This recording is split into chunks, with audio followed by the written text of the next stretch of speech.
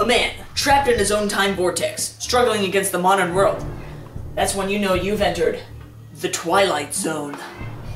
Get out the way, Mr. Cooper.